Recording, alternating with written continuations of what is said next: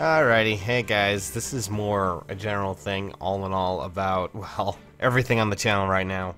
Um, I'm just, obviously, I'm not feeling too great. Um, I'm, I woke up again, just not feeling that fantastic, so that's just how it goes, I guess. Um, headaches and all that fun stuff. I basically just sit in bed and try to sleep some more, but occasionally I just kind of have to get up and walk around because right now it just feels like crap. But still, I figured I would take the time to just say right now, um, I'm going to be slowing down on content.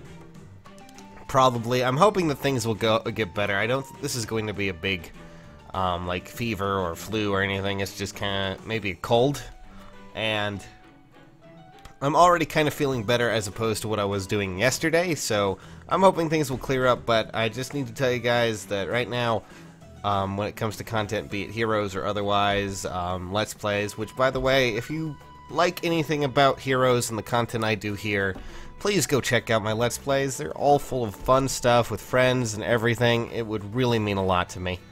But um, outside of that, well, um, that's basically all I have to say right now is that I'm going to be relaxing off a bit, just kind of relaxing the next few days, and I do know that I might make people a little sad that I won't be maybe doing the amount of videos I was doing before, but until I feel better, that's just how it's going to go. So, um, I'll catch you guys later. Thanks for watching, and I'll see you all very soon.